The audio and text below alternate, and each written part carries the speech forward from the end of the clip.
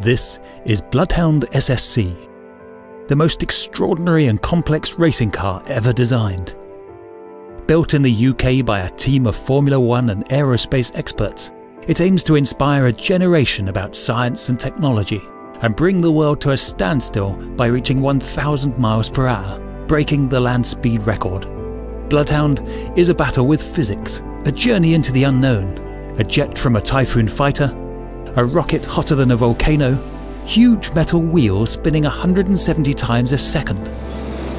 With the equivalent of 135,000 horsepower, Bloodhound will cover a mile in just 3.6 seconds, faster than a bullet.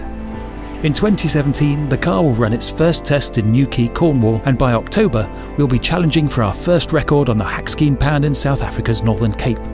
Here, a team of 300 people have moved over 16,000 tons of rocks by hand to create a smooth 12 mile racecourse on a dry lake bed. Driver Andy Green's first target will be a new record of 800 miles per hour. He'll return again in 2018 to push it to 1,000. Followed in 220 countries, we're sharing every detail.